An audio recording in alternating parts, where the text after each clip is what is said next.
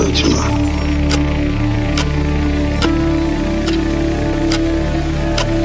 Тьма — это когда совсем нет света.